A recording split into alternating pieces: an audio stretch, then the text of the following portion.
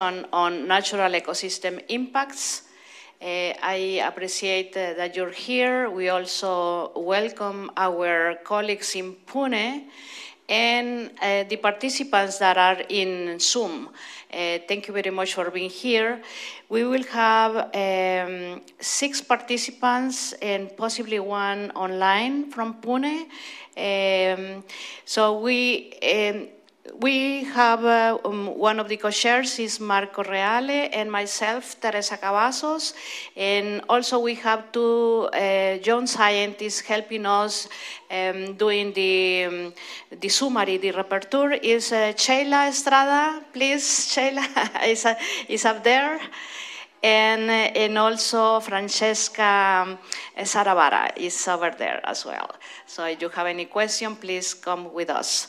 Uh, the, our participants will have 10 minutes for uh, um, the, their presentation and then two minutes for questions. And we need to be tight with the, um, with the time. And one minute before the 10 minutes, I, we, we will do this to remind you.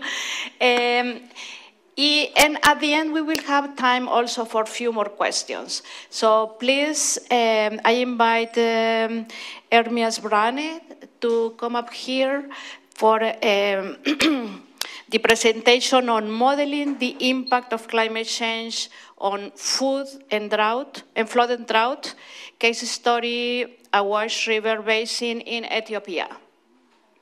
So please, um, Ermias Brane is. Um, yes, yes. Are you online? Yes, yes, online. Ah, online. Okay, okay. Welcome, welcome.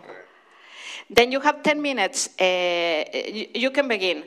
Can, can you put up the presentation, please? Yes, because uh, he's online. Okay. The presentation? Uh, one. Okay. Can you? Can so. you see it? Yes, is- yes. I There one see. before. Just one moment. There is one before the the beginning. That that's it. So we will need uh, to be changing the.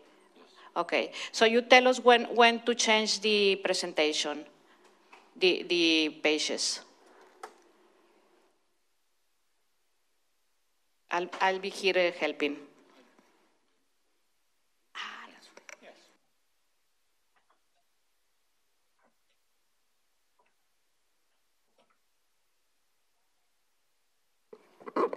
Go ahead.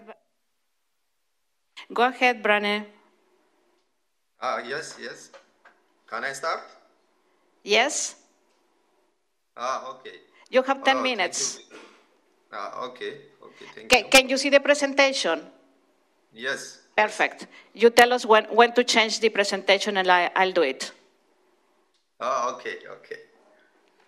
Okay, thank you very much uh, for this opportunity. Uh, uh, my name is Hermes. Uh, I am a PhD student in the University of Tsukuba under the supervision of uh, Professor uh, Dairaku Koji uh, in Japan. Uh, uh, today, our today's topic is modeling the impact of climate change on hydrological extreme event as a case study of uh, Awash River Basin in Ethiopia. Next.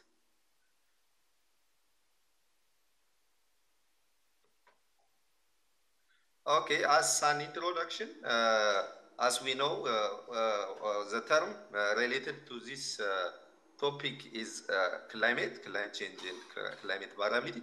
Climate, as we know, it is weather in some location or pl- place, average over some long period of time, or it's uh, the short-term average of weather condition. Uh, so, uh, related to this, climate change is uh, uh, nowadays a uh, very sensitive issue.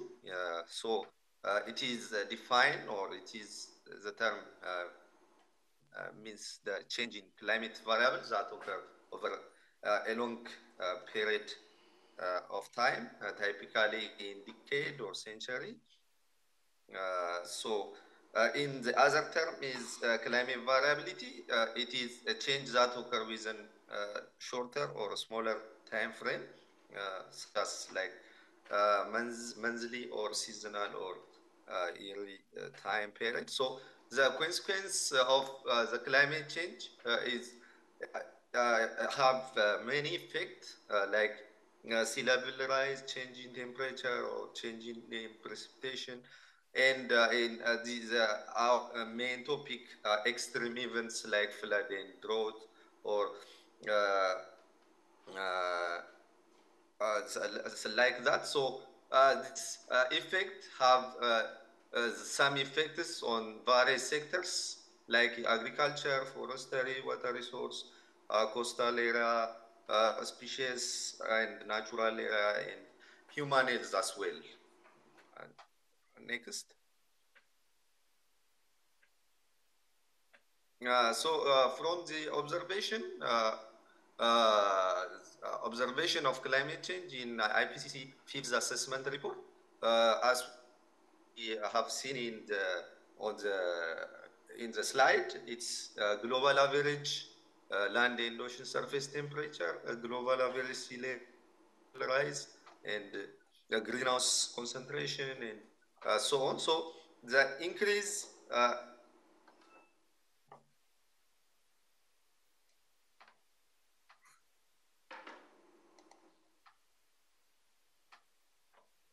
the the average global average, uh, the average global land and ocean surface temperature shows uh, a warning of 0.8 uh, five in uh, from uh, 90 from from 8050 to up to 20 2020 2010 uh, the greenhouse effect, uh, an anthropogenic greenhouse effect emission has increased since uh, the pre-industrial era. And the, over the period from 1902 to, to 2010, the global mean sea level rise by 0.1 meter. Uh, next.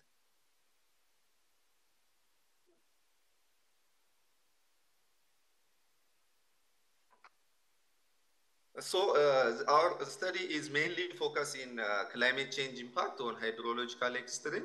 Uh, so uh, in our uh, study area, uh, there is high potential for extreme events. Such as wet season can be very wet and the warmer season also be warmer. So Ethiopia is subjected to high climate variability and change, experiencing frequent flood and drought, particularly in our study area, Awash River Basin. So in this basin, the current scenario indicate flood and drought are the recurrent uh, uh, common phenomena uh, with devastating effect on environment, social and economical loss. So the main objective of this study is to assess the impact of climate change on extreme event flood and drought under current and future scenario. can you next?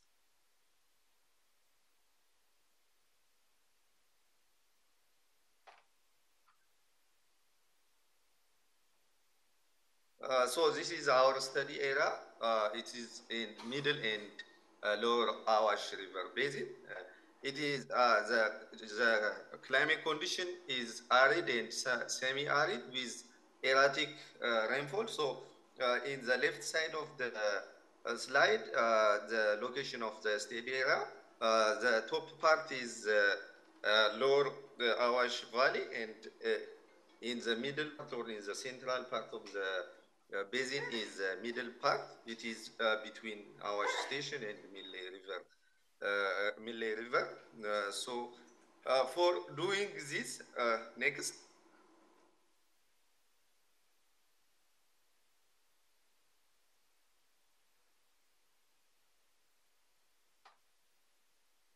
to do this pro, study, we use hydrological model, HEC MS. uh, drought index uh, indicator, uh, standardized precipitation index, and the outputs of uh, regional climate model uh, based on uh, two scenario, RCP uh, 4.5 and 8.5 scenario. Go next. So this, this is the data uh, we use for uh, doing this study. Is a climate data, uh, observed or uh, station data, and three regional uh, climate model output, uh, like uh, Mirror 5,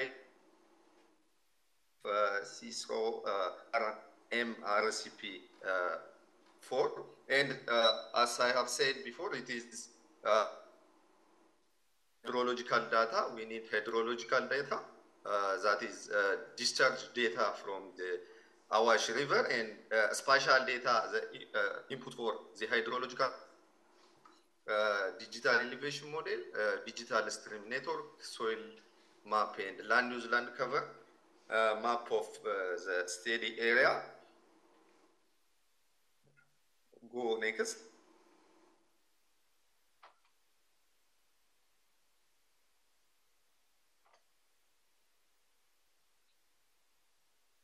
Uh, so this is a, a summary of uh, our input data.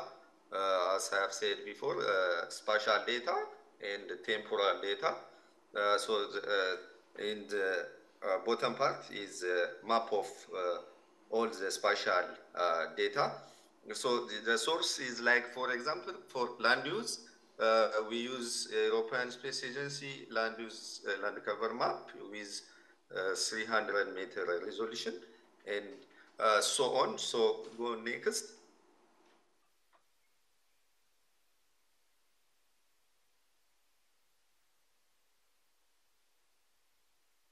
So uh, climate uh, change scenario is projected using uh, regional climate model based on two uh, RCP scenario. Uh, uh, scenario, RCP uh, scenario, uh, RCP 4.5 and RCP 8.5, uh, middle uh, emission scenario and high emission scenario. So uh, after ge- generating this uh, climate variable, uh, we have to bias corrected the data from RCP model, RCM model. So we use linear scaling approach due to its simplicity and uh, suitability for uh, daily ba- uh, bias correction. So uh, the future scenario were developed by dividing the future time into two period, uh, 2030s and uh, 2090s. Uh, 2030s uh, is from 2011 to 2050, and for uh, 2090s it is from 2051 to 2100. Uh, so the model setup uh, was uh, used to Brane. HEC-HMS Brane. model was used to Brane, can you hear me? runoff event. Brane, can you hear me? Uh, you, Yes, you, you have one minute left. Yes. Thank you. Oh, okay, okay. Uh, can you go uh, faster? Uh, so uh, the model is set up into five steps. Uh, go next.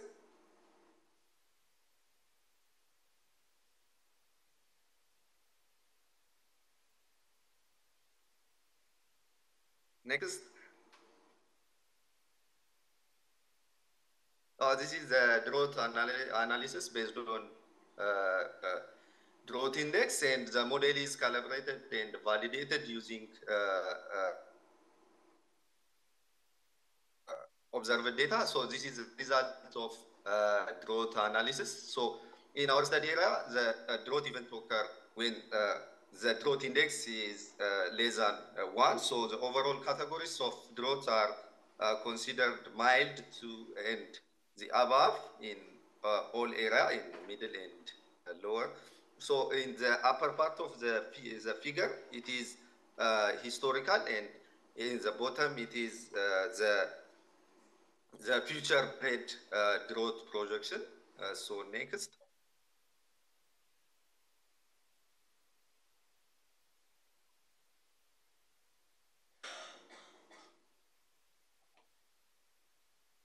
So this is a flood analysis uh, result. Uh, so in this, uh, it have the change of flood magnitude between uh, the current and the future period uh, in the table form. And this is the return period of the flood event, the change in flood magnitude between current and future time period. So the result indicates an average increase in flood event. Uh, moreover, the analysis indicates overall increased trend in uh, frequency of flood is not linear. Uh, so, uh, go next.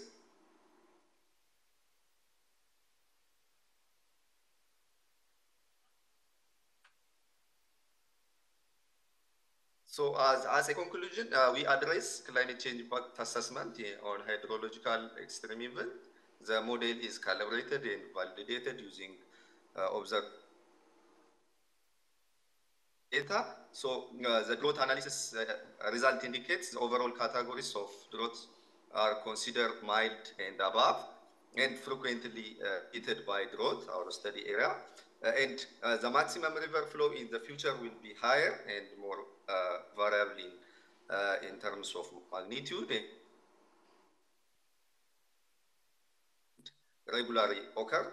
Uh, uh, so uh, it's, it's observed that climate change have significant impact on high flow condition of Awash River.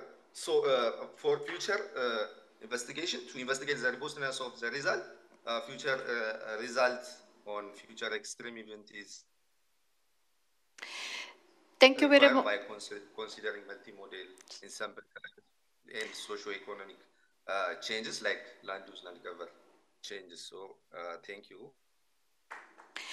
Thank you very much, Hermias. Um, okay.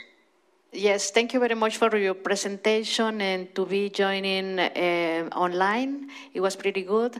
Um, unfortunately, we don't have time for questions, but possibly at the end we will have some time. And if you have uh, in the uh, participants have some question, please stay at the end so we can we can make him a question. Okay. Uh, thank you very much.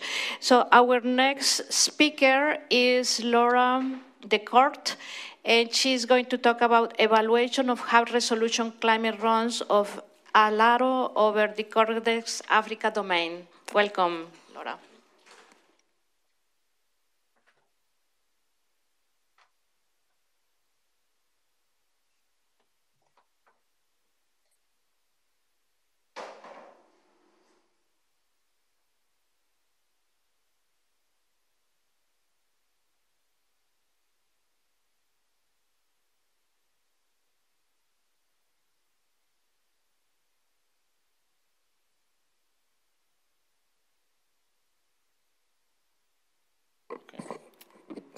Forward, backwards, and this is the rest.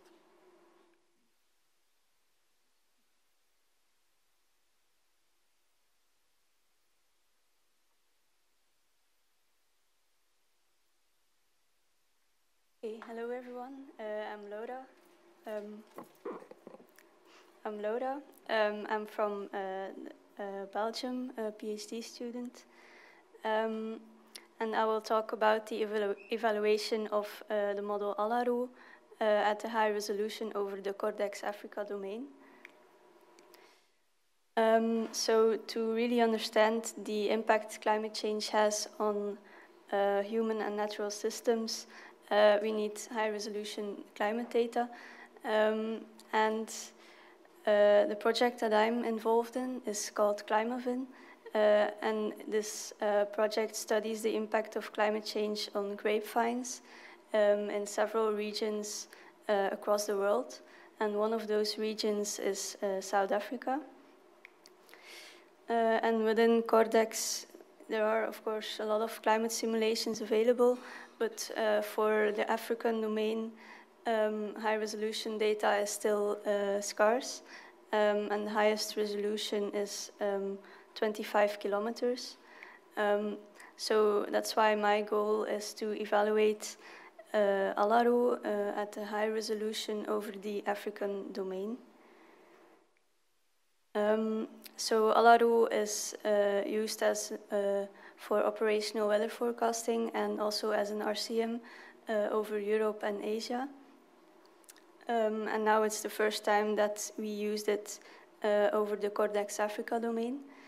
Um, we run the model at 12.5 kilometer resolution uh, for a period of 20 years, and we used uh, ERA 5 as lateral boundary conditions. Uh, so for the ev evaluation, we divided um, the domain in uh, subdomains according to the IPCC. Um, uh, so we used uh, several observational data sets to um, compare our data with. Um, and we also compared our data with other models, um, so who also had uh, simulations over Africa, but at a lower resolution. Uh, and those models were uh, had uh, ERA interim uh, boundary conditions. Um, so, and we're looking, looking at a period of ten, 10 years because that was the longest overlapping period between uh, our model, our run, and the other uh, models. Um, so here you see the bias of temperature um, for uh, Alaro, um, and on the right the range of observations.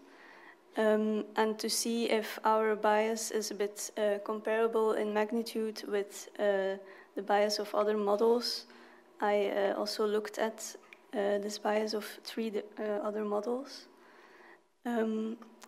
So if we look more closely to uh, two examples for Alaro, um,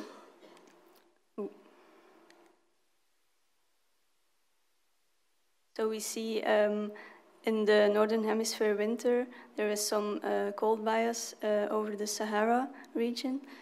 Um, and in uh, September, October, November, there was some uh, warm bias uh, in southern Africa. Um, if we look at the annual cycle of temperature, um, so we also see again this warm bias at the end of the year. So the black line is uh, Alaro, um, the gray um, is the range of observations, and the other colors are the other models.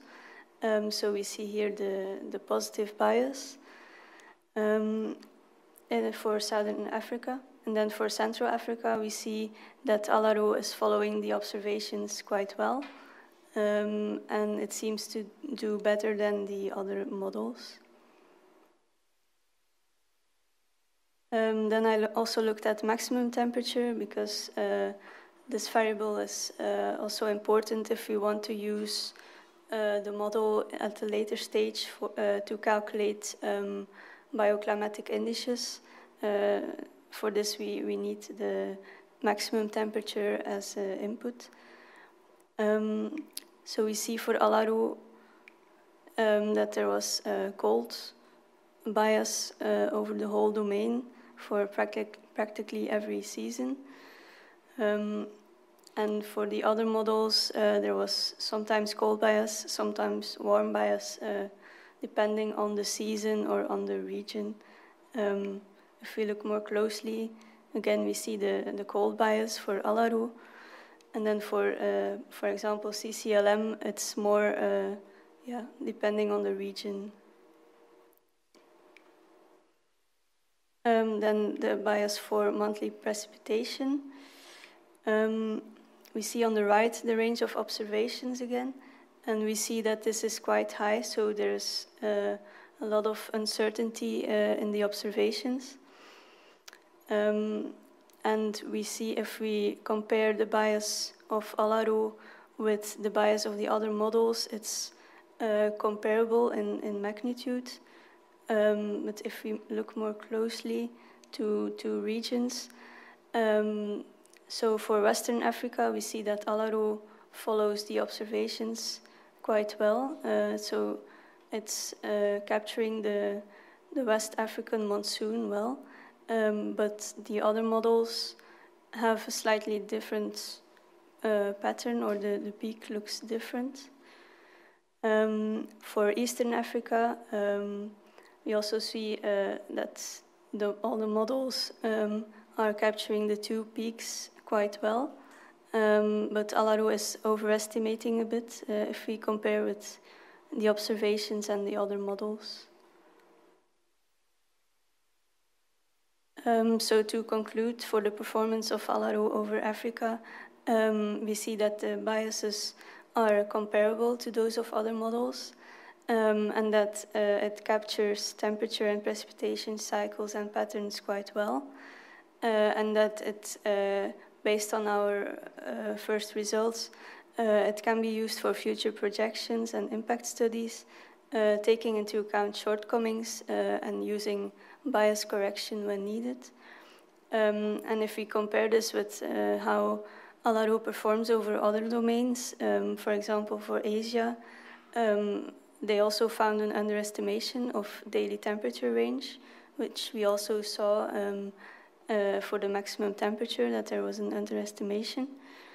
Um, and then for both Europe and Asia, um, Alaro performs better for precipitation, which could be um, due to the uh, newer um, microphysics scheme of Alaro. Um, and we also saw this for Africa, uh, for some regions like Western Africa. Um, and then some perspectives. Um, so we still want to evaluate the diurnal cycle and precipitation extremes. Um, and then we want to do some future climate projections with Alaro over Africa um, and do a further downscaling to four kilometers over South Africa. Uh, and then we also would like to do an impact study um, where we investigate the relationship between grapevine phenology and climate variables, and uh, we, where we will project uh, future bioclimatic indices. Uh, so with this, I thank you.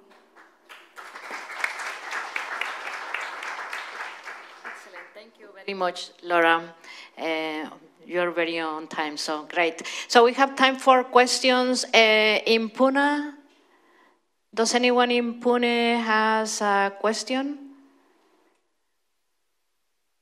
Otherwise, here, um, anyone has a question? Marco.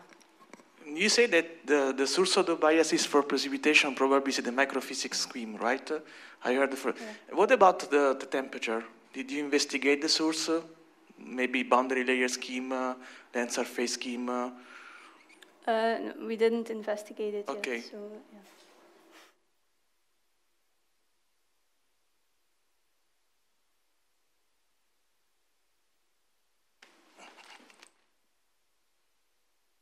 Um, actually, on the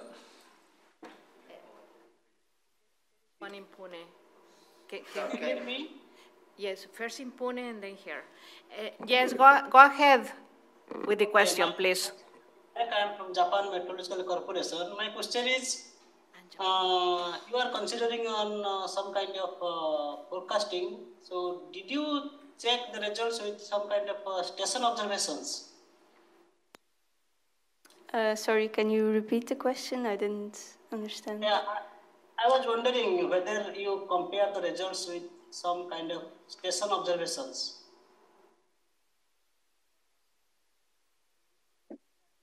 Did you check your results with the station observations? But, Okay. Can you hear us properly? ah. If I compare Okay. with, uh, with Some, some kind of station observations. Or other You can see the data. Yeah, local observations like that, yeah. Could you check with local observations? I think so. You I- did an evaluation with the, with the observations. Local, local observations.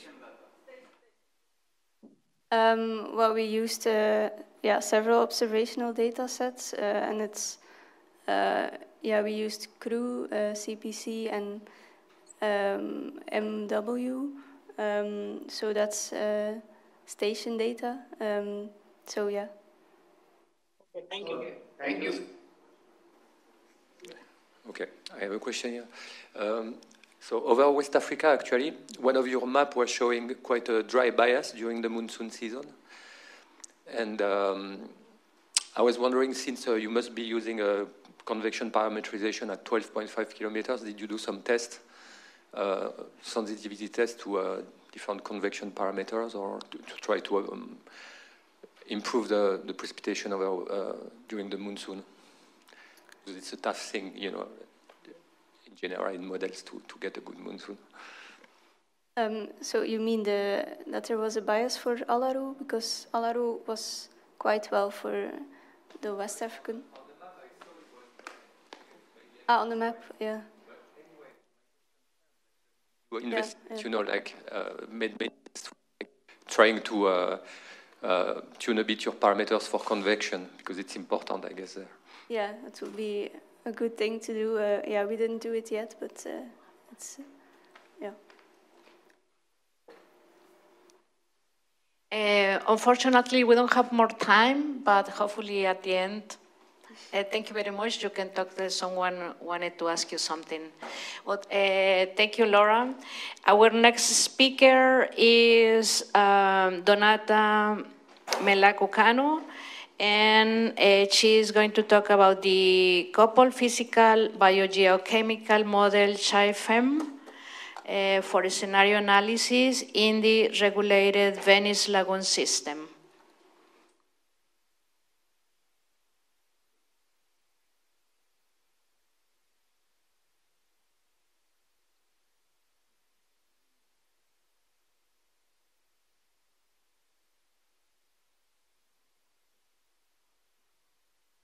Forward, backwards, and pointer keep pressed. You can use this. Hello, everyone. Uh, I'm Donata Canu from uh, OGS, Trieste, and uh, this work was done uh, in the frame of a project that was uh, um, um, financed by the Ministry of the um, Public Works in Italy in order to understand which are the main uh, effects of the closures of the mobile barriers at the lagoon inlets that are uh, already operating starting from 2020 to protect the city of Venice from the uh, high waters and from the flooding. Uh, so these um, disclosures combined to the climate change effects uh, acting also in the oceans and in the sea are expected to affect somehow the state of the lagoon uh, water quality and uh, potentially can affect also the ecosystems and ecosystem services.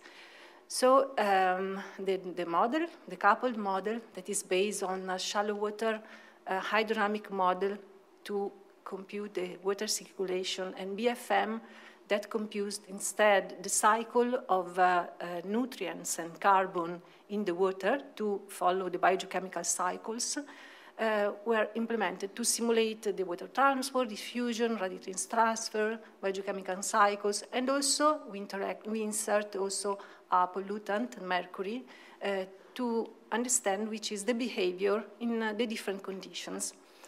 Uh, we uh, uh, then we, we use the model to, um, to understand the present state, compare the results with the data, and also with two climate scenarios to the end of the century using projected downscaled atmospheric forcing and boundary conditions from regional climate model COSMO and uh, for the atmosphere and uh, uh, from the physical biogeochemical model NEMO plus OGSTM BFM.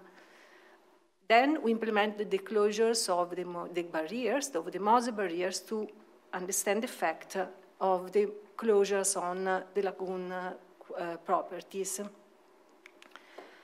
Where we are, so we, we go very, very into the, the small scale. Here is Europe.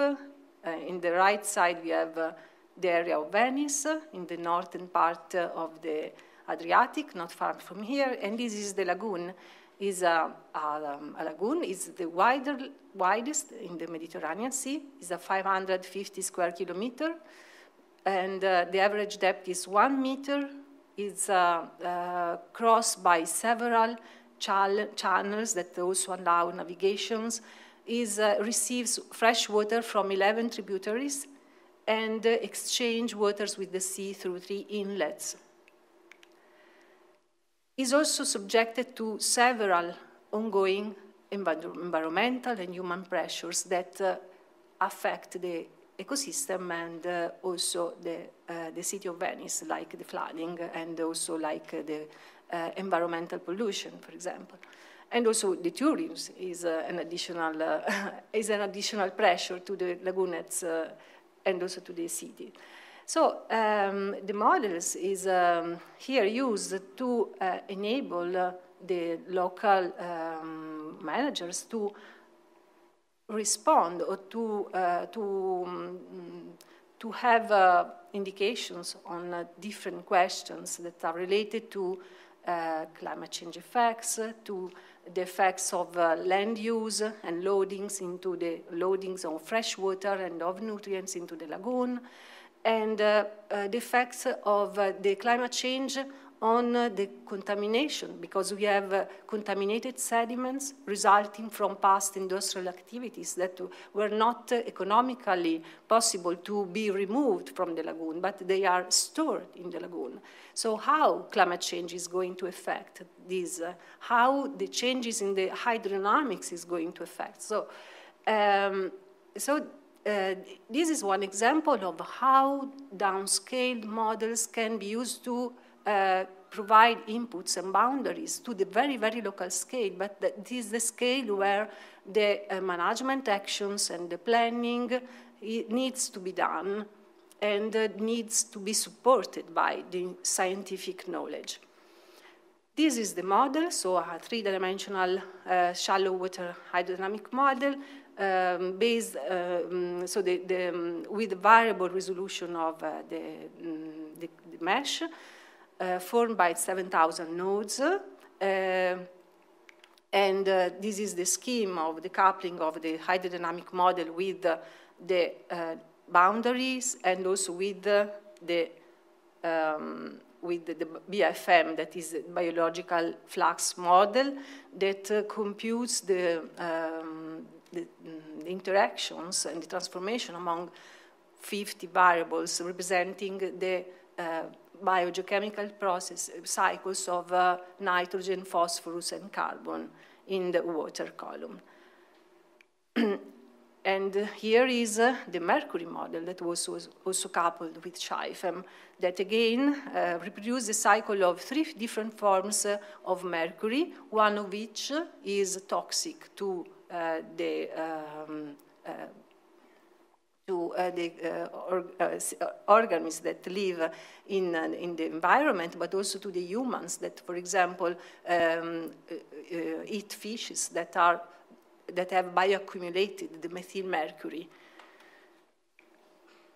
And in fact, we also used the model to simulate the bioaccumulation in one clam that is, one clam that is harvested in the Lagoon of Venice. So the scheme that I have already um, cited, mentioned, is this one. So we have a high-resolution regional climate model, and then we statistically computed the nutrient input uh, using data from uh, the present state conditions and using projections from, for the scenarios. And uh, the same way, we, uh, we used data and we interpolated the data applying statistics to set the present state boundary conditions at the sea.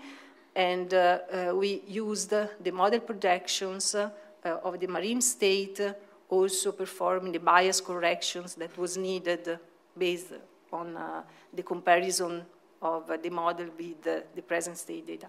And then these were fed into the models. Uh, so these no, sorry. Mm, uh, no, what, no, I'm going, yes, I, I, wanted to go back, this one, okay. Uh, so we did the, the, the, present state scenarios and then the, the scenario simulations to, uh, uh for the two um, RCP 8.5 and 4.5. Um, with and without closures at the, the barrier, uh, at the inlets. We have uh, many data. The Venice Lagoon is a, a really uh, mm, well-known system where uh, many, many different projects and activities were carried out in, different, in, in the last 20 years. So this was uh, good and bad for our modeling activity.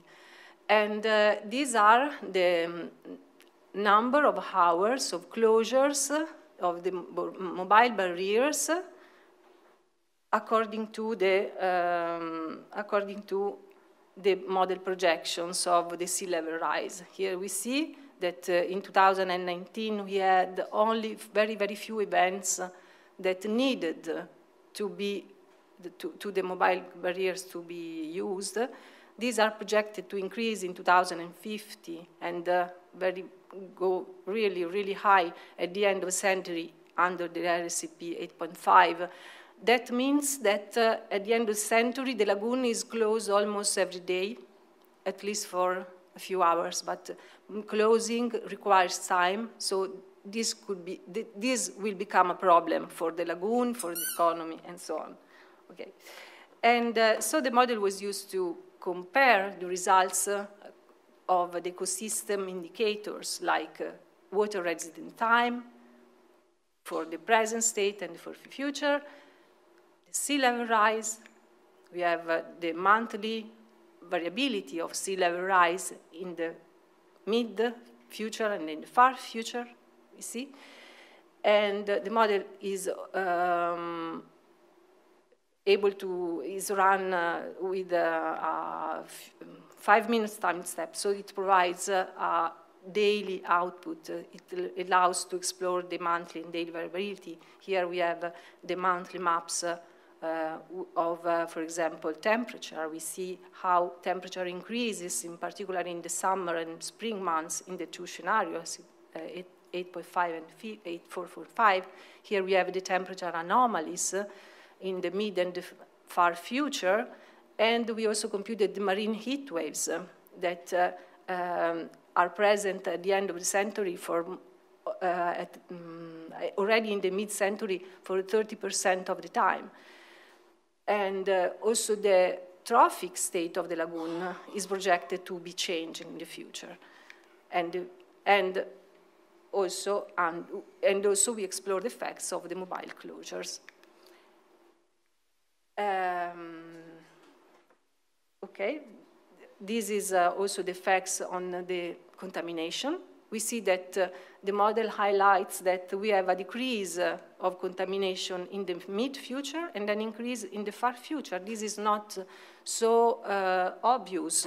So we need a model that uh, takes into account the different processes, the sedimentary processes, the hydrology, and so on, to be able to understand how the different uh, processes will interact and uh, affect our system. Thank you. Thank you, Donata. We have time for one question. Anyone online or here? Marco? Thank, Thank you. you very much. Thank you very much, Donata.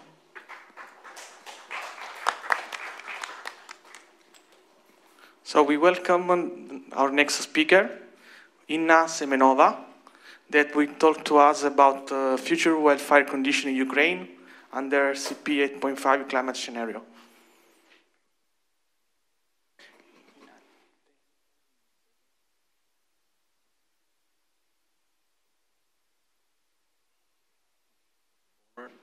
backwards, and this is the point. Keep pressed. Ina, stage is yours. Okay. Uh, hello, everybody. Um, I would like to present uh, this short uh, part of the uh, common study which provided in Odessa State Environmental University uh, with my uh, PhD student, Ruslan Koval. the study about wildfire weather condition in Ukraine. It's a very important uh, question because uh, Ukraine is uh, the most uh, territory of uh, southern uh, Europe every year affected by wildfires with different reasons. more than 18% of Ukrainian territory covered by forests, and uh, the third part of this forest is uh, pine trees, which very flam uh, flammable. Uh, during past uh, uh, 30 years in the forest areas of our country is about 100,000 fires occurred. Um, and in the last three years, um, territory of Ukraine uh, became the most burned area of the Europe. Oh, sorry.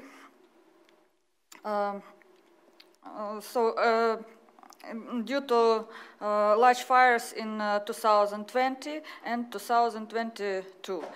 Uh, in 2020, these fires, which connect with severe drought in Ukraine, and in 2000. Uh, 22, most fires occurs in the uh, military combat zone of Ukraine. As you can see, mm, this zone uh, uh, on the satellite images with hot spots for July last year. Um, current, uh, some, uh, some about current wildfire statistic in Ukraine. analysis mm, of this dynamics of these fires shows that it's sustainable phenomenon. It's about uh, uh, an average uh, annual number of wildfires ranged from uh, 10 cases in the western region and to more than 400 cases in the um, forest areas of Ukraine in the east part. Uh, more, more of these cases uh, caused by, by forest visitors and uh, a large part of these cases is as uncontrolled agriculture burnings. Um, what about uh, weather conditions, uh, conditions and wildfires?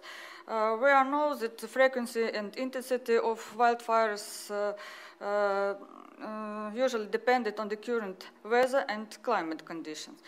Uh, in the seasonal distribution in Ukraine, we have the uh, three um, three periods of uh, maximum fire activity. It's the spring period in uh, March and uh, April. It's usually um, summer in August, and next peak it's um, October in autumn.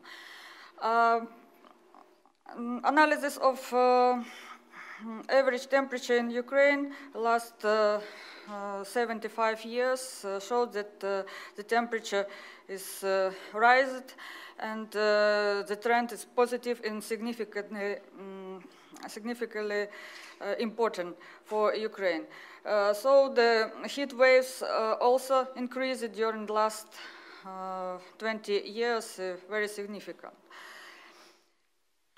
Uh, in this uh, uh, in this study, we used the simple angstrom index for evaluation uh, fire weather condition in the future period uh, from um, 2021 2070. Uh, 50 years period um, in which temperature uh, expected to rise in Ukraine and uh, uh, relative humidity expected to decrease in territory, average territory of Ukraine. Uh, for evaluation, we use the model data from uh, RCM MPI REMO 2009, uh, and the data was used from uh, from uh, local time at uh, 13 o'clock. So, this, uh, this maps present uh, the spatial distribution, seasonal distribution of the angstrom index. Um, the study area included the territory of Ukraine, uh, so uh, it's uh, so much the territory of Ukraine, but uh, the territory of Ukraine is nearest this region, occupied this region. so. Um, in all season, in, uh, uh, we have the distribution, uh, quasi-zonal distribution with the small, mm, with the small values in the northern part of the territory and the largest largest values in the uh, uh, Uh, southern part of Ukraine. But, uh, but uh, uh, this distribution characterized in uh, winter and in autumn, and in uh, the summer and spring we have the smallest uh, values which correspond to high risk of fire danger in southern part of Ukraine, of course. of, co of course, we have the clearly seasonal uh, time course with minimum values in the summer months and uh, uh, biggest values in the mm, winter. Uh, concerning the trends, uh, the trends uh, around the study area, all-time trends shows that values of index will be decreased around this territory study area and especially in the western part of the Ukraine and nearest areas. Uh, anomalies uh, also uh, became the um, negative to the end of the um, study period.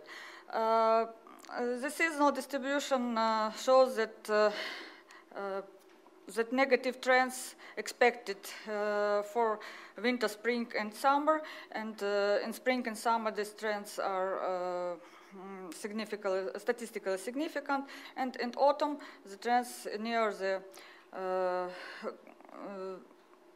natural natural values.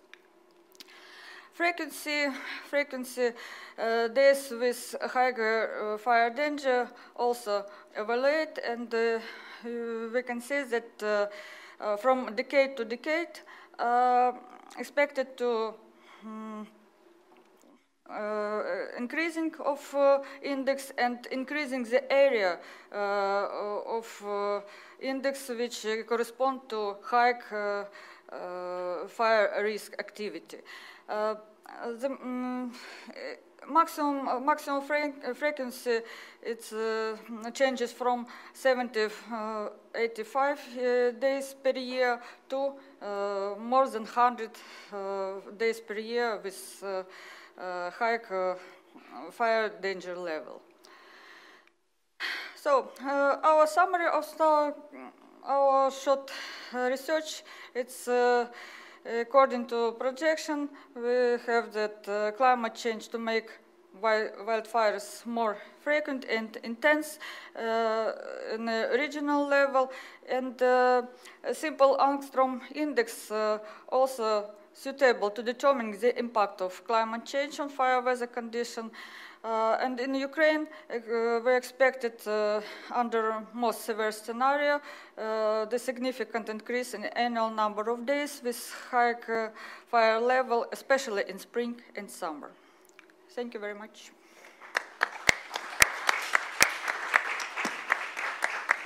Thank you, Inna, for your very interesting presentation.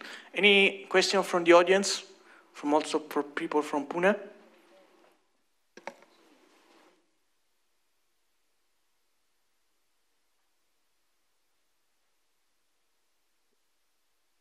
Uh, thank you. Thank you for your uh, nice uh, presentation. Indeed, interesting.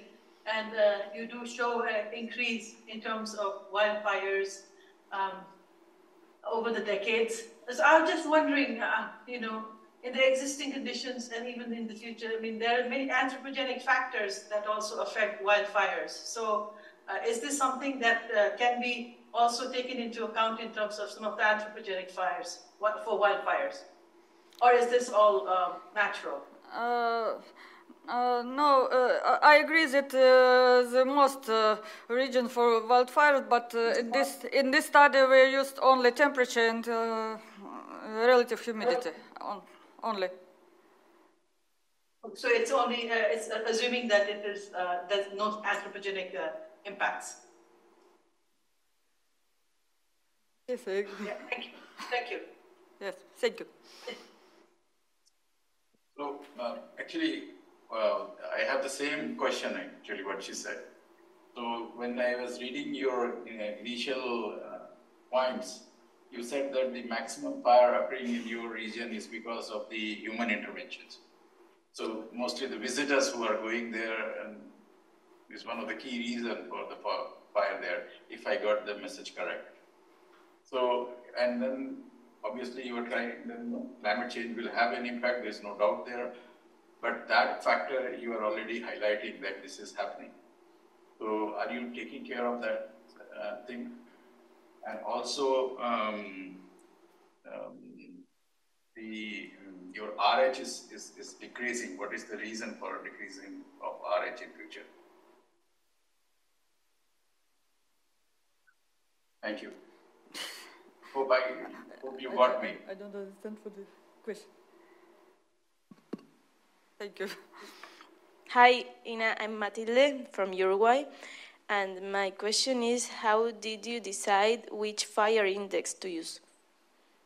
Uh, Thank you. Uh, I use this index uh, because uh, it uh, include uh, the most important components of the climate change, which described its temperature no, and humidity is, uh, is an addition to the temperature maybe. It's a parameter which characterizes uh, uh, the state of the atmosphere, local state of the atmosphere, uh, suitable for the wildfires. Uh, it's a simple, simple. I agree. It's a very simple parameter, but uh, um, it, it includes uh, the temperature, which most effective projected in the future models. Thank you. Basic. So we thank again Ina for this interesting talk for the, the discussion. So we need to go ahead now.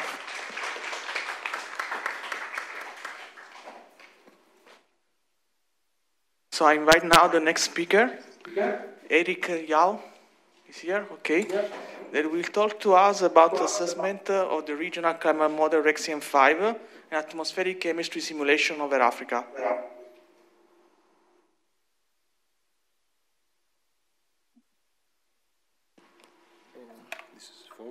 Backwards, and this is.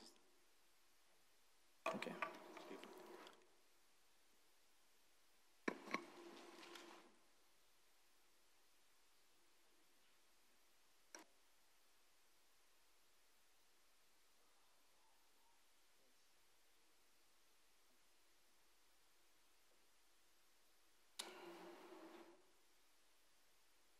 Okay, hello everybody. I'm um, Eric Yao from Cote d'Ivoire.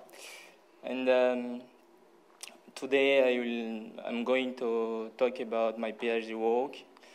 Um, that is with um, the, the, assessment and uh, the use of regional climate chemistry model to, to apply to atmospheric nitrogen cycle over Africa.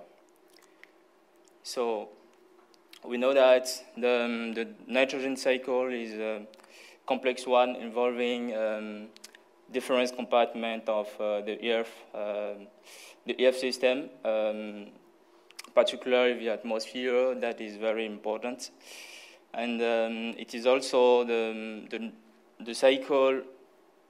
It is also the cycle most um, uh, dis um, disrupted by anthropogenic uh, um, activities, and that is um, particularly true in tropical regions in um, the context of um, climate change and population growth.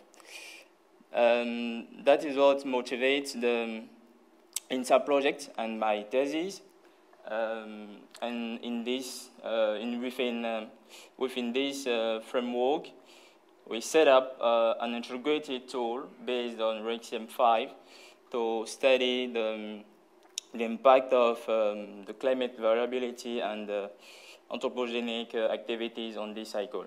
So in the rest of my um, presentation, I will present you the pre preliminary results of this work. So as I said, um, this work is based on um, a RegCM5 model which um, considers um, various physics parameters. And uh, all our simulations um, are performed for now uh, from January to December um, 2014 uh, over Africa with a spatial resolution of uh, 30 kilometers. So for a more for a more accurate representation of uh, African chemistry, we have done uh, important upgrades and improvements, which um, concerns emission inventories, um, chemical boundary condition, uh, which is now based on uh, CAMS reanalysis, um, dry and wet deposition, and so on. So, as a necessary step, um, we evaluate the African climate during the African monsoon. And uh, it is important to, to know that in order to have um, um, the most realistic uh, African climate representation, uh, we, we, have, uh, we have done um, a lot of sensitivity uh, tests uh, varying diverse um, physics parameter. So here we introduce the, the simulated wine compared to uh, the ERA 5 reanalysis. Uh, we can so um, we can see um, overall, uh, overall uh, the, that uh, the the model captures the main feature of um, of a motion circulation with a good with a good position like um, a position of a motion front here, uh, despite the um, um, underestimation of the uh, the motion flow intensity. Uh, these figures show the precipitation and uh, the surface temperature for the same period.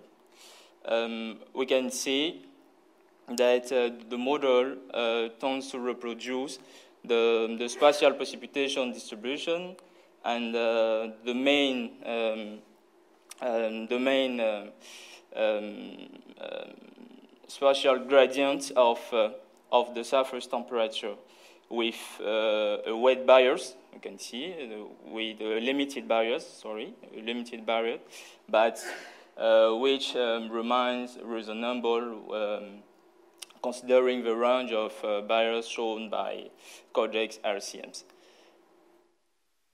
So we can um, say that the simulation quality uh, can be considered good enough for um, for supporting further um, analysis on uh, uh, atmospheric chemistry. So for chemistry, um, we try first to access how the model represents the, the ozone field um, because of its importance in regulating uh, um, main atmosphere, atmosphere component, especially nitrogen species. So simulated values um, evaluated against CAMS reanalysis. We can see on this figure that uh, RegCM5 shows a good consistent uh, with, um, with CAMS, but tends to overestimate uh, the surface concentration of ozone. And uh, this difference in concentration can be linked um, to um, difference in uh, um, some parameterization such as emission inventories, dry, depo, dry deposition um, uh, treatment. Um, we are now um, interested in the comparison of um, simulated ozone and uh, the INDAAF. And the, the INDAAF network uh, measured ozone on its representative station of uh, forest uh, wet and uh, dry savannas. This scatter plot uh, shows overall an overestimation of simulated ozone compared to the, the observation, so in that, on the three types of ecosystem. But on um, uh, right, we can see on this figure that even um, state-of-the-art model like um, GEOS-Chem in uh, orange and uh, CAMS analysis in green uh, also overestimate the, the surface ozone. However, we can see um, a good tracking by the simulated ozone in blue uh, of the, the ozone seasonality given by observation in, uh, in red here. Okay, so if now we are looking for um, specific species uh, more directly linked to nitrogen cycle like uh, NO2, which is very important for this cycle, uh, we can see on this figure a consistency between uh, CAMS reanalysis and uh, RegCM5 um, with uh, a strong seasonal uh, cycle linked to um, fire activities. I want to talk about uh, biomass burning uh, emission. You can see, yeah. But uh, we can see also um, that uh, the model uh, underestimates, um, shows um, a lower concentration in the cell regions compared to um, compared to CAMS reanalysis. And uh, that can be um, that could be uh, um, related to another source of um, emission not taken into account in uh, in the model. Okay, so on um, the the INDAAF um, on the INDAAF forest, on the INDAAF forest and the white savanna, um, we notice uh, the, a good simulated seasonality of uh, um, of sulfurs um, NO2 compared to the observation in DAF and uh, the state-of-the-art uh, model like uh, GEOS-Chem and CAMS. But on dry savanna, here, uh, we see an underestimation by the model of uh, uh, uh, NO2. Okay, so um, now we assess the, um, the impact of um, the of the biogenic NO emission uh, on uh, NO2 and uh, the, the surface ozone, now taken into account in the, in the model. So, on, on dry savanna, uh, for example, where we had uh, uh, underestimation, uh, we noticed that uh, an addition, uh, an additional biogenic NO emission tends to or, or leads, leads to increase um, surface NO2, bringing them closer um, observed value. On your right, uh, we can see also that um, um, surface ozone tends to be reduced. uh, via um, ozone titration characteristic of VOC limited regime in uh, um, biogenic NO source uh, area, you can see here. So in conclusion, uh, we can say that uh, we have developed a um, a system which has demonstrated uh, the, uh, the importance of uh, biogenic uh, source for species uh, linked to um, nitrogen cycle. So in the future, uh, we will carry out um, long-term simulation for variability studies. Thank you for your kind question.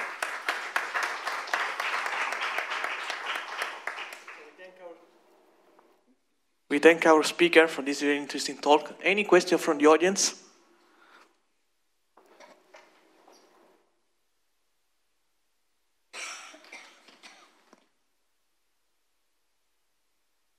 Hi, Allison Steiner from University of Michigan. Thanks for the nice talk.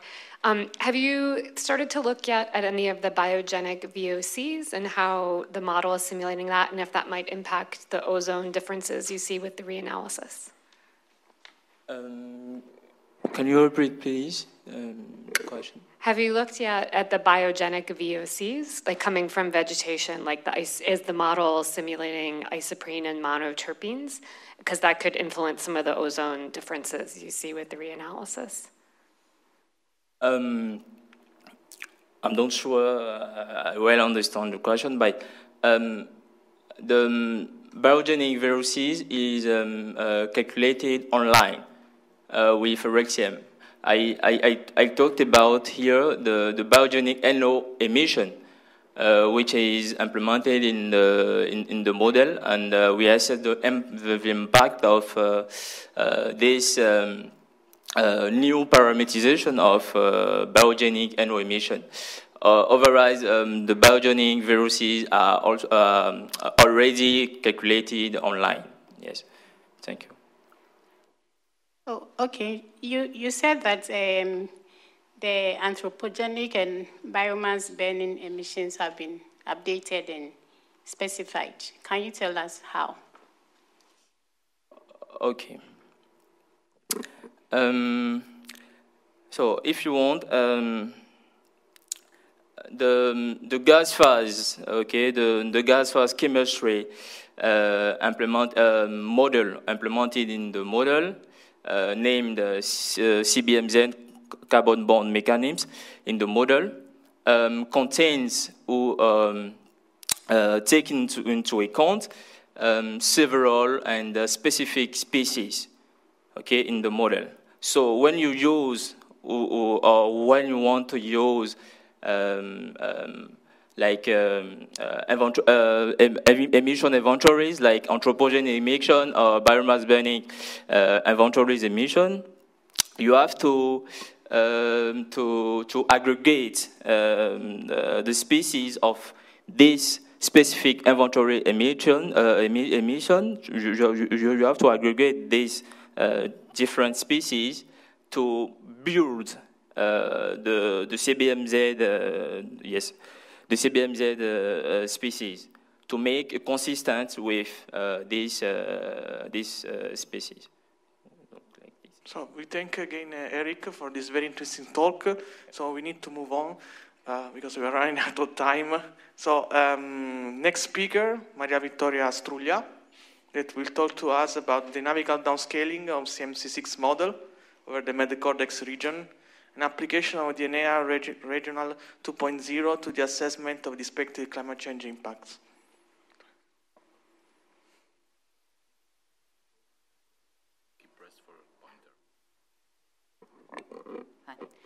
Uh, good morning. I am uh, Maria Vittoria Struglia. I am here representing, as you can see, a huge, quite huge uh, group of people as uh, this uh, work was really a big effort and all the climate laboratory at ENEA was, was involved. Um, I will speak about the downscaling of a CMIP6 model over the Med-CORDEX region, but I will focus mainly on uh, expected climate change impacts. Uh, in particular, um, I will uh, um, focus on the effects of high-resolution RC coupling for the representation of two particularly uh, impact events, um, marine heat waves and sea level high. Um, this is a, a, short outline of the presentation. I will be very brief on uh, the first part, and uh, I'll try to um, go uh, a bit deeper into the part of impact studies. Um, all the results uh, are, have been published recently in um, this paper in, on climate dynamics. So um, I will be really uh, very brief. I have selected just one, some um, results, but you can find uh, all information in, the, in um, the paper. Um, this is uh, the model setup and experimental design. Um, this is uh, the Med-CORDEX region, and we have highlighted also the boxes, uh, which are the um, prudence boxes uh, over which we made most uh, of our uh, validation.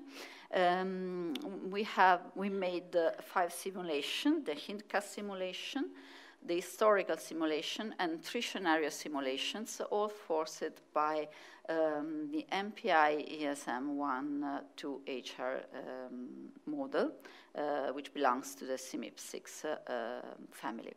And these are these are mainly characteristics of the uh, of the simulation. So um, the model uh, ran at uh, an horizontal resolution of 12 kilometers for the atmosphere and 10 kilometers more or less for the ocean.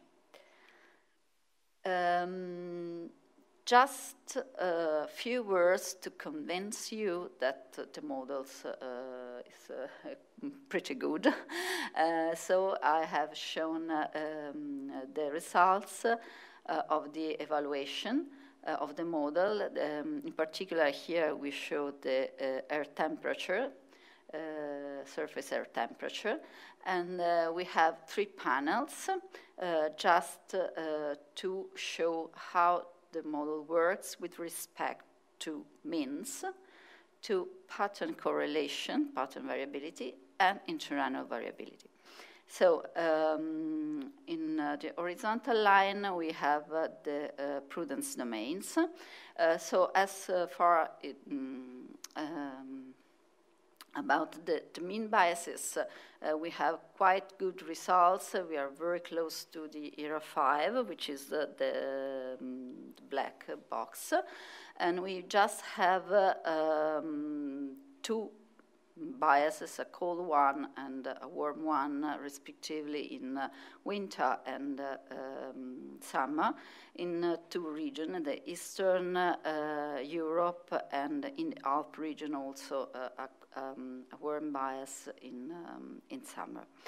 Um, as to the um, pattern variability, we can see that uh, the downscaling generally improves a lot uh, spatial the, um, variability with respect to the, to the drive as, expected, of course.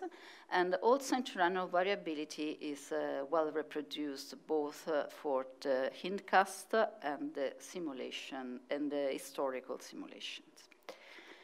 Um, as to the ocean, here uh, we, um, we show um, on the um, left side, on the left panel, the um, SST. You can use the Ah, okay, fine.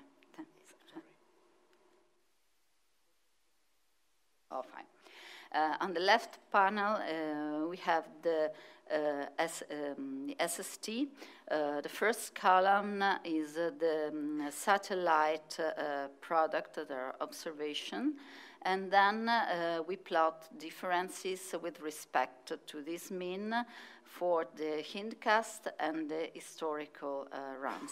As you can see, uh, we have a warm bias in um, winter and a cold bias in summer. So um, this means that uh, um, even though the uh, seasonal cycle is well reproduced by our model in mean, uh, however, we have a, um, a, little reduction in the amplitude of the seasonal cycle of SST.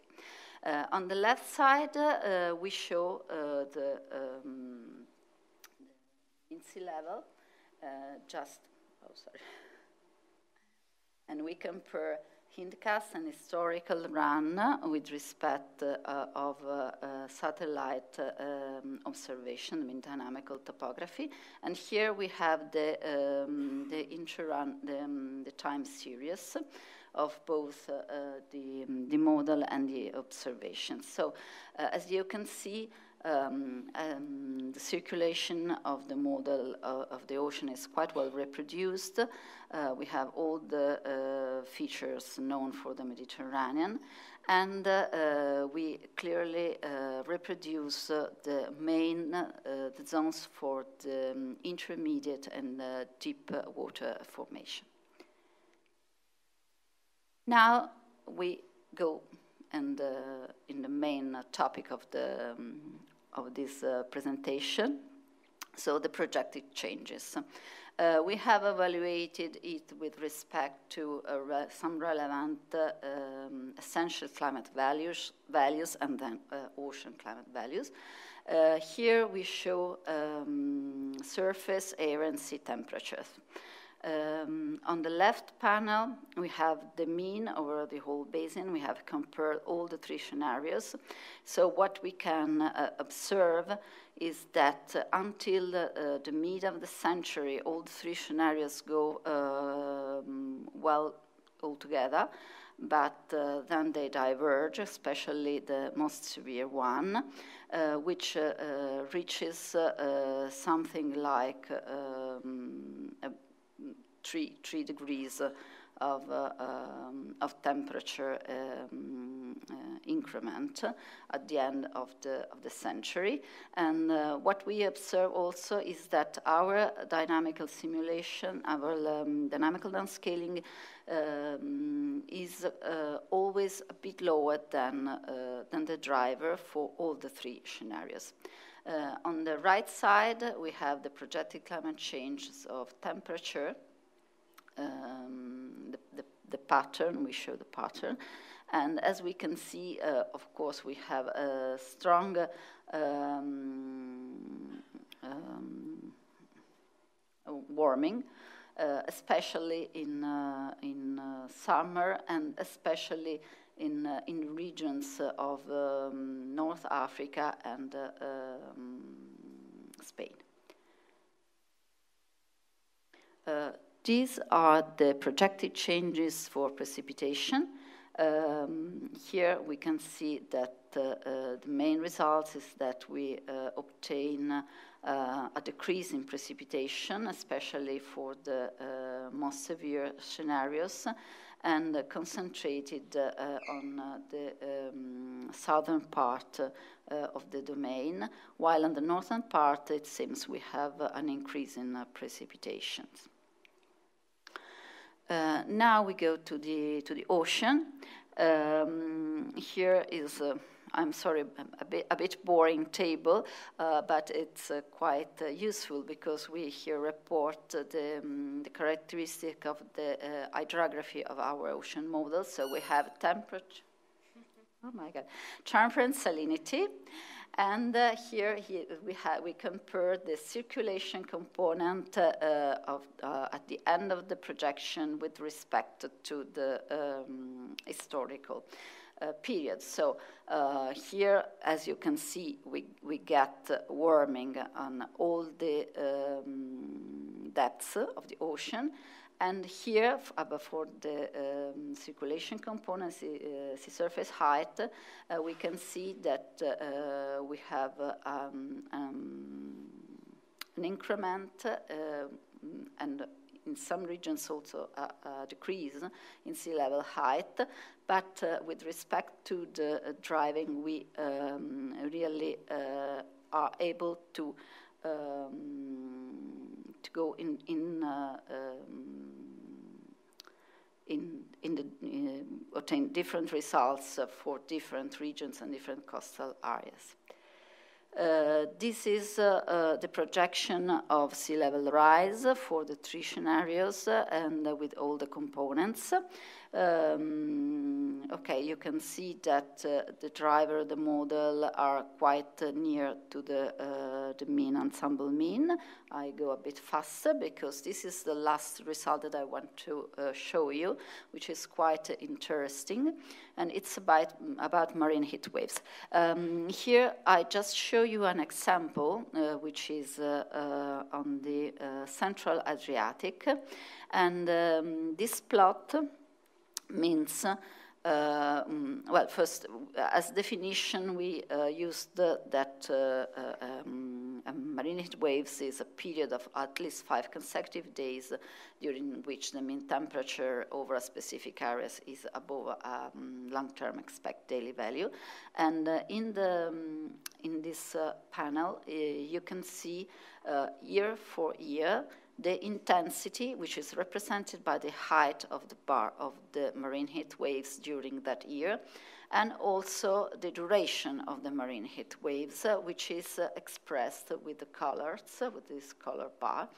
Uh, so the, the important result and, and, we used also um, a changing threshold. So we have been uh, counting marine heat waves, uh, mm, just uprising our threshold uh, from um, the, the, basic uh, seasonal cycle of the historical period. And so important thing is that uh, uh, intensity is uh, really increasing, especially for the most severe scenario. But the important thing is that what is an exception, an anomaly in the historical period, may become the normality in the future scenarios.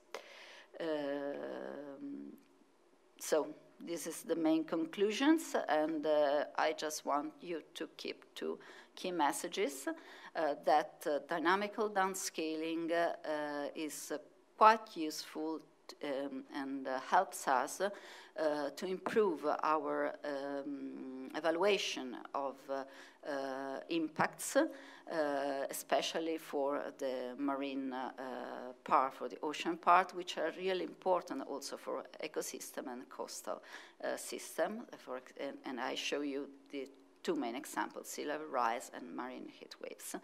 Uh, just a bit of uh, thanks to our sponsor because uh, all the all the work was um, funded by um, several projects, and thank you.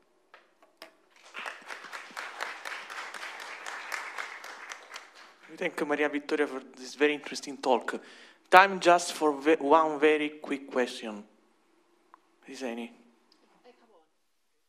One question from Pune. Uh, okay, from Pune. Hmm? Go ahead. So, uh, it was, it's, uh, first of all, very nice talk. Thanks. Just uh, wanted to know that this uh, marine heat wave, uh, what I would expect that the, uh, in future you're saying that the duration is increasing. And you have shown that 180 days, more than 200 days. So this means that are we going in a state where we are going to have a permanent marine heat wave? or and then also the intensity should reduce. Period, if period is increasing, the intensity should reduce because intensity obviously is representing the event numbers. So your comments. Um, are, are you asking for the heat waves, this plot? I understand? Yeah, yeah, correct. Okay. So we see 200 days and all Yes, we have three scenarios. Of course, we have difference among the uh, less severe and the more severe. Um, actually, you don't have a decrease in intensity even in the less severe scenarios because but it keeps more or less the same intensity and um, a bit uh, increase uh, in uh, uh, the duration. Um, this is not surprising because, uh, um, as you see in this other picture, the less severe scenarios um, indicates that um, the three scenarios go quite well together till the middle century, and then the less severe uh, actually uh, shows um, a decrease uh, with respect. And so um, mitigation measures can be effective, uh, but they will take time to, uh, to be effective. Uh, I, I, hope I answer your question. Yeah, it's okay. In, in the interest of time, we will just... Fine. Thank you, Maria Vittoria. We are running out of time. Okay. So we have the last question. We have the last uh, um, presentation. Uh, I think it's online, right? Pankaj, are you there? Yeah, it's me only. Okay. Could you please share your screen?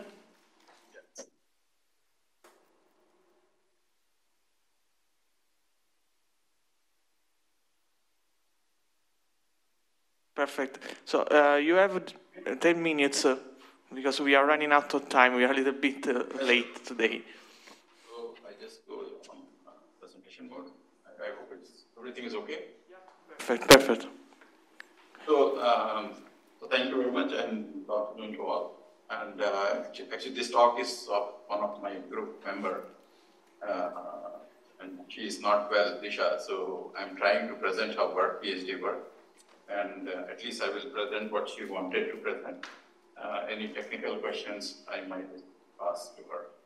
So what, uh, what we are trying to look is that the how the different species will be affected with the rate of climate change, especially into the biodiversity hotspot regions. And it's already reported, very well reported that the polar shift uh, and the high elevation shift, and also in the oceans we are going more deeper or higher and if you talk about Himalayas ecosystem, uh, the biodiversity hotspot, hosting more than more than 3,000 endemic plants, many extremely important uh, plants and also 300,000 birds species. So, uh, and then very uh, biodiversity hotspot regions to look around the changes into the. So to introduce this um, topic, so quantification of climate change and its impact on different ecosystems. So usually we do the look into the different matrices, indices, uh, such as anomalies, probability of extreme events, and identification of uh, climates. That's the one way of looking at it. And another, what we are trying to do is the velocity of climate change. And the concept given by Loarie et al. It's defined as the instantaneous velocity along the Earth's surface that an organism will maintain the field to the changing climate to ensure its survival. And we see uh, CC is, is a regional matrix of climate assessment, and it is easy to interpret comprehensive matrix and does not involve biological inferences because that's again a challenge because if we uh, start incorporating biological uh, parameters, uh, then the data and all, you know, challenge. And obviously it can be looked at univariate and multivariate exposure.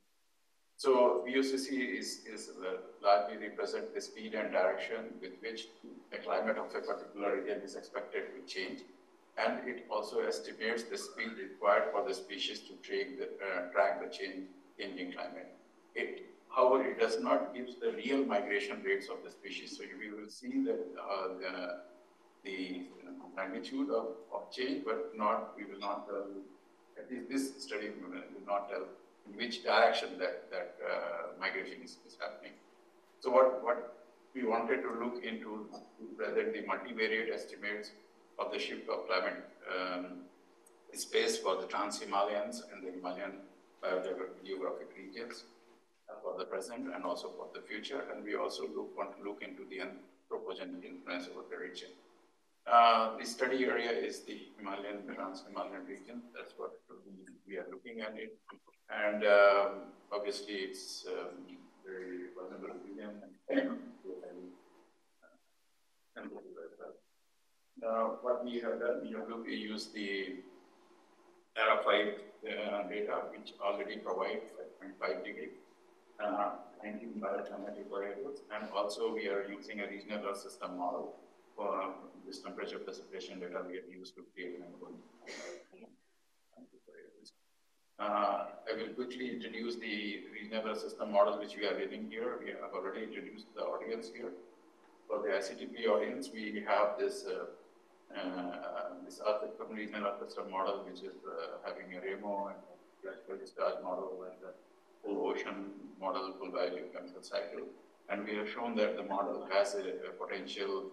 Uh, I'm showing here the CMIPS 5 model ensemble, CMIP6 model ensemble, CORDEX model ensemble and then RESM ensemble, uh, the model clearly shows that the bias is significantly reduced when we go to 25 kilometer and 1 kilometer. And not only the intra-annual intra scale, intra-seasonal scale, also the uh, migration of IT season and all are very well captured. So this uh, not going more into detail.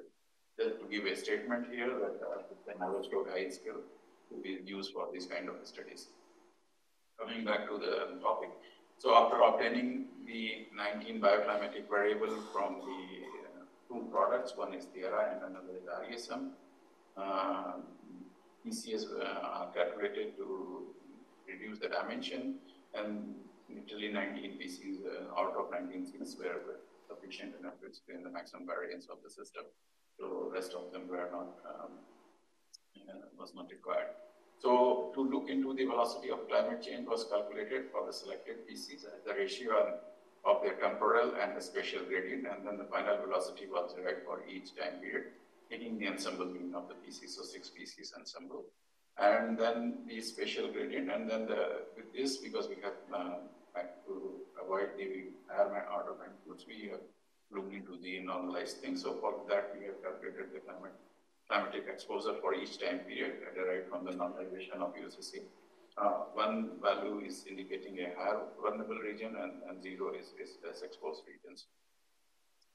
To talk about the results, when we look into the um, gas simulations, the uh, Trans-Himalayas and the Himalayan region, the uh, the velocity, it is the velocity of climate change which we have uh, reduced.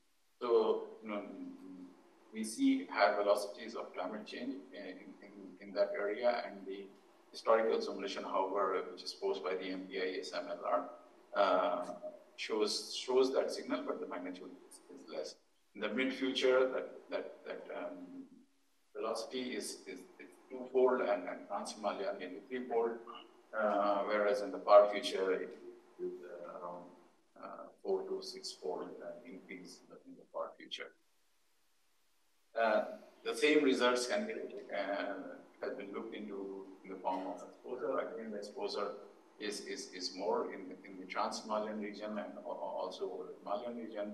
Uh, the uh, rate and all is is all is more or less very similar to the to the VOCC, and the Trans Himalaya will face higher climatic exposure and thus will be more vulnerable than the Himalaya in the future scenario. So that's one of the points. And also we look into the histograms and distribution. So this is for the Himalaya and this is for the uh, Trans Himalayas. And what we see that the grid boxes here largely for the mid future or the far future, the distribution is more or less same.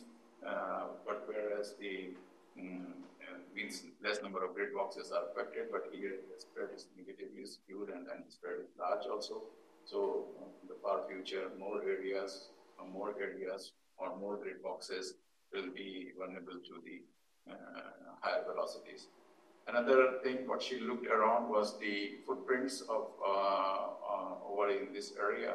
And that was looked for the two um, snapshots. I think this is uh, 93 and 2009. What she's, it is looking based on several parameters that defines the footprints calculated.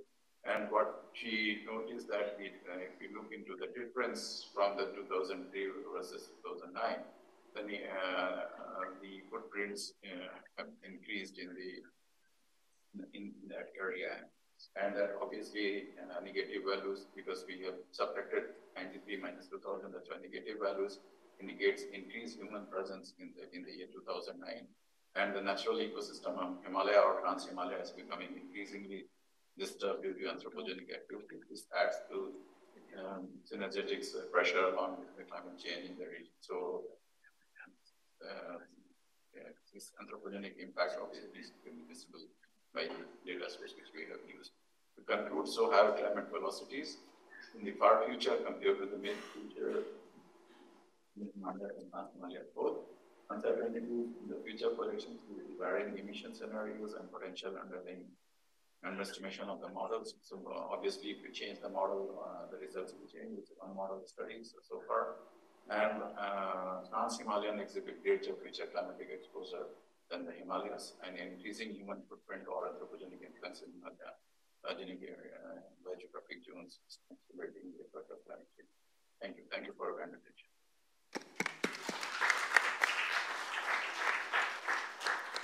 Thank you, Pankaj, for being on, perfectly on time. So any question for our speaker from the audience or for uh, online?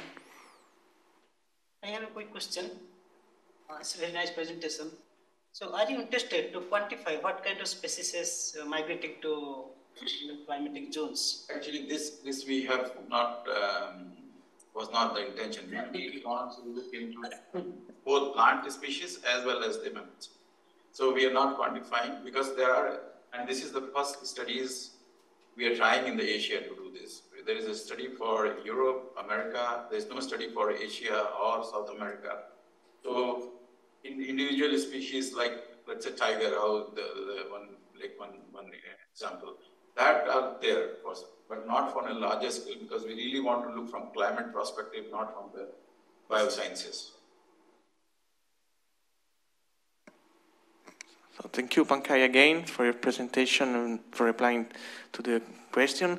Uh, I think we can close the session now. Uh, now the coffee break is in, in the terrace upstairs. And then after, at uh, half past 11, we are going to gather again in the CISA building, in the, in the room where we started the conference in the last two days. So thank you again to all the speakers. Thank you for attending this session. See you later. Bye.